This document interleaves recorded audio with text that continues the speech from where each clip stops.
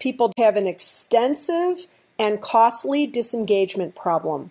That at the heart of all internal and external struggles is an activated inferiority complex, which really causes them to go into those struggles. And that occurs because people don't feel that essential, healthy sense of belonging and significance.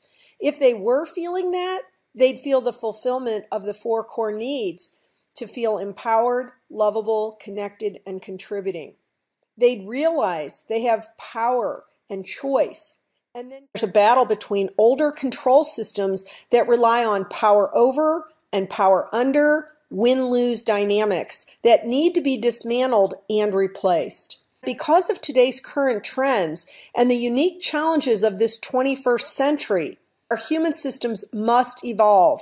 People need to shift from a primitive survival model to a teal organizational model. That today's teal culture model is one in which purpose, freedom with responsibility, shared power, agility, and a holistic community are all characteristics and they're needed at this time.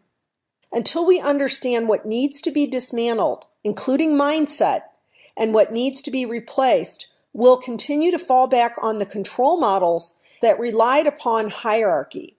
This is what so many people are waking up to when they say, we need systemic change. When you learn how to build the right conditions and conversations that bring about encouragement, people don't have the motive for being in misbehavior.